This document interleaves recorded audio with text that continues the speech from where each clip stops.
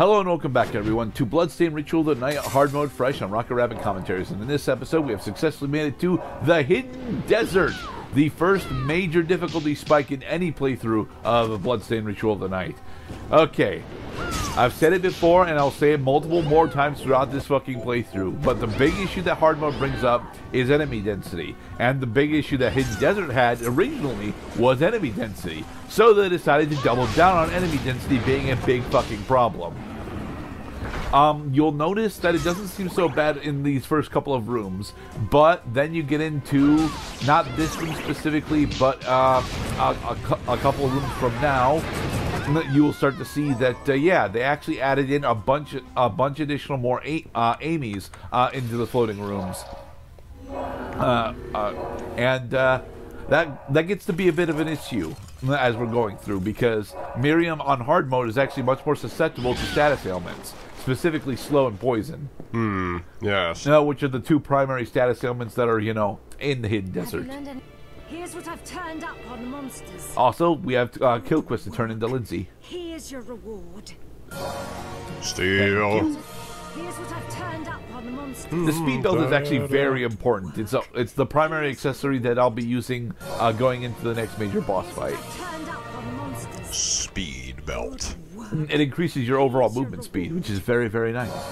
Well, I tell you, nothing slows me down like having my pants starting to sag below my waist because I didn't wear a belt. Eating properly. What are we transmuting this time? Alright, so what are we attempting to craft at the moment? I think... Are we attempting to actually go and, uh, and actually make Strider at the moment? I think so. Yeah, we're trying to make Strider, but we don't actually have the crystal for it yet, so... Ch ch cheddar? No, no. Because it looked like cheddar. Mm, no, no, no, because it's S-C-H, so Shy. So cheddar. If you want to call it Shedder, then sure, but it's not, because it doesn't actually have a D in it. Or rather, yeah, it, yeah, it's uh, S C H E D R, uh, D E R. I was gonna say, I've heard of cheese knives, but this is ridiculous.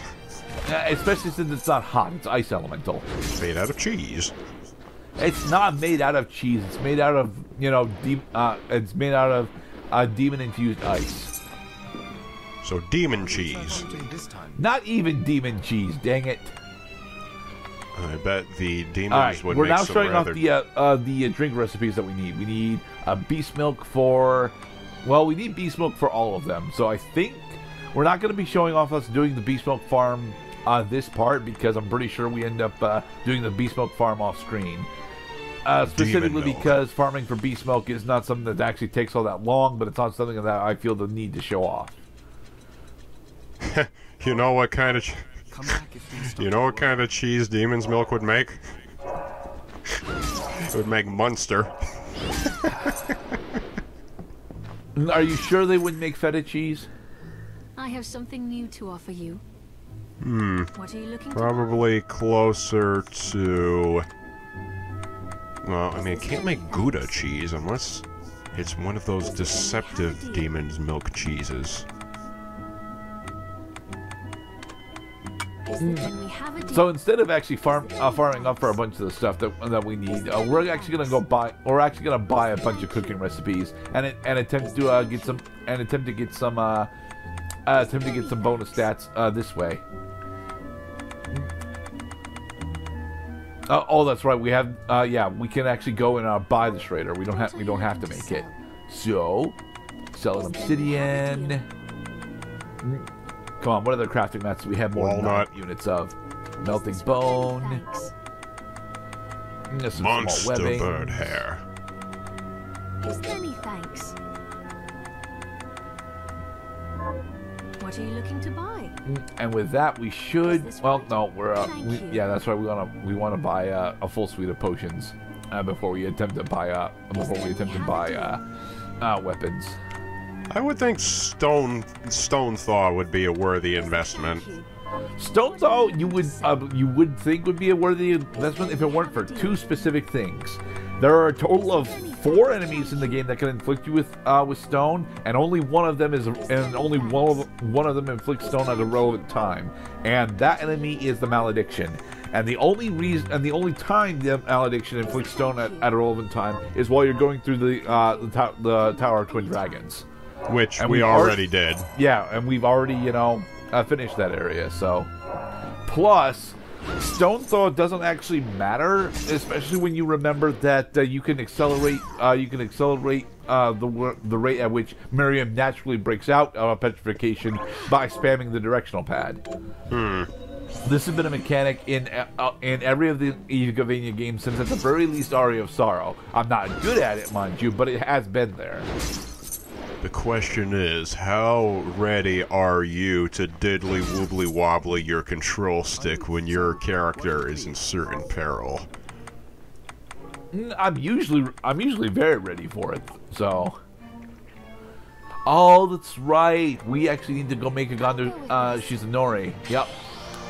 Yay! So we made a Gondo Shizunori, and the reason why we did this is very specifically because for the for the upcoming boss fight, the original plan was to use the Gondo Shizunori as a special spell in order to you know cheese it the fuck out. This partially works, but not for this part. We are gonna see the next the next big boss fight in this part, uh, but um, I'm gonna spoil it now. We don't clear it because the the next boss is either the most or second most difficult boss in the entire game on hard mode. I will say that it's even more powerful than the secret boss that it, that Cloud had uh, that Cloud specifically had me go take down, even though I was apprehensive about doing it. Oh yeah, I remember that. I I, I told you, uh, great great challenge brings great reward. Nah, I still don't believe you. Well, you did it. That's I did good. it, but but the reward that I got for it was something that I already knew I wasn't going to use. Ah. E- even without the uh, even without the steroid of having uh, effectively infinite mana regen, uh, Inferno Breath is honestly a real a really good uh, spell to have uh, for just traveling around. Specifically because of how uh, of how reliable it is in dealing with rather potent threats like these Alistairs. The I know that it's I know that it's a spelled Alistair and it's probably pronounced Alistair, but I always consider the fact that Alistair is effectively a single character off from being Alistair. And, and Alistair has been a, has been a recurring demon in the Igavania franchise ever since Aria of Sorrow. So Uh, not to mention, we are in a European type setting, which means that it could do that weird Celtic thing where it pronoun it, it actually pronounces the consonant C as with a K sound. It would be Alakir. it could be Alakir, couldn't it? Like Alakir. Or Killian. Or Skilla. Uh, I, I, it's definitely not Killian. Lasting wound. This is a spell that we will never actually see because I don't like using the daggers. Actually, that's rapier. Yeah, that's, that's one of the. That's uh. Or is that actually short sword? That might be short. No, it's definitely not short sword because it is tied to uh the same command that the Bandit Blade's back shield is. This is us being inflicted with slow. We are no longer inflicted with slow. Thank Uh, God. slow, despite it being extremely potent um, in the upcoming boss fight, is only potent in that boss fight. Mostly because there's a total of, well, two enemies in the game that can inflict you with slow. They're both fucking here. Lift, please. Thank you. Go over here, do a bit more mac mac Oh, we will come back to this room much later on because I wanted to show off the DLC, and uh, this room is one of the entrances to one of the DLCs. Uh, the Megaton Hammer Room. One of my favorite and most memorable rooms in the Fire Temple Ocarina of Time.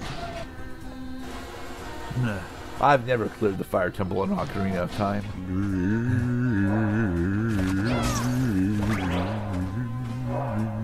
I have a long-standing grudge against Ocarina of Time, and it's not even really Ocarina of Time's fault. Because you see, I get to, I beat Forest Temple, right?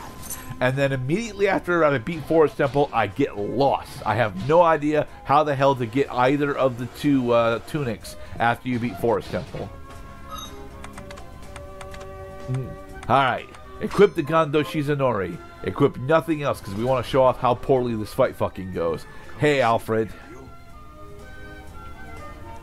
Hey.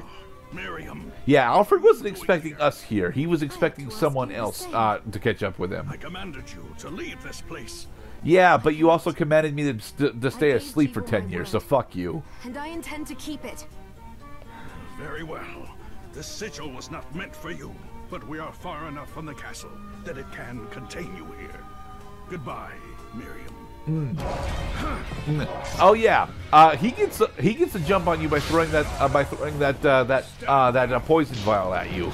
Um, to be perfectly honest, that's actually supposed to be a hint in what in how you're supposed to do this fight the the correct way. Alfred specifically is vulnerable to poison. He is uh, he and several of the other bosses in the game are specifically vulnerable to both poison and, believe it or not, slow. Thing is, if you ever get to land the slow on Alfred, something terribly something has gone terribly wrong. Scrumptious. Scrumptious. Scrumptious. So here I'm showing off that uh, in order to even pretend to actually fight Alfred fairly, I am I save up a bunch of I save up a, a bunch of my first time food options beforehand. Um, you'll notice that Alfred has got this red glowing aura on him. That doubles his damage Yay. and it doubles his armor. Yay. Fuck this fight. Yeah. This fight on hard mode is is the second or first, uh, the second or hardest fight in the entire game because uh, you'll notice that uh, you'll notice that we can't really get up, uh, up to him in order to deal a, a great amount of damage, even though even though he no longer has his armor buff on. Uh, because Alfred's entire gameplay strategy is to use his, incre- his increased mobility and uh, and his uh, and his coverage in order to make it so it's virtually impossible for us to actually uh, uh, stay on top of him. Technique master. And we're out of MP. Damn it. Uh. So we can't do the stabby stabs. We can't do stabby stabs anymore because we no longer have MPs. As I tell you, The, those, the big thing that I always have problems with is the fact that uh, that Alfred has access to every status ailment in the game. He gets slow, he gets poison, and he gets cursed. He also gets petrification, but petrification is not actually all that big of a deal for him because you know uh, all of uh, same with poison to be perfectly honest. But curse and slow are the big ones that you have to worry about. He doesn't start using slow until until he's into phase two though. But you'll notice that um, it's extremely difficult at this point to tell where the fuck are, are, are these damage zones, uh, specifically for his ice and fi- uh, ice and fire pots. And I'm still having problems even at, even getting close to him at this point. No, we're cursed again. uh, I have been I have been told that it is possible to dodge a cursed order just by sl- uh, just by sliding after it uh, comes at you. But in multiple cases uh, through this fight, I have proven that no, you still you still have to slide uh, against the path that it's going, Here and it's extremely difficult to figure out what path that is. Because, well, he gets to attack you in a 3D space, whereas you are locked to a 2D space to attack him. Oh, jeez, it better not. That that thing better not happen where like we just took a shitload of healing items right before the boss dies. No, he's not even in phase two yet, Cloud. What the fuck? I know. Yeah, we, we've he- been stabbing and blabbing and slapping and grabbing, but he's still Yeah. up. Uh, okay, so any second now, he's gonna go to stage two. You sure? He has old man health. Uh, no, no, he does not. Damn it.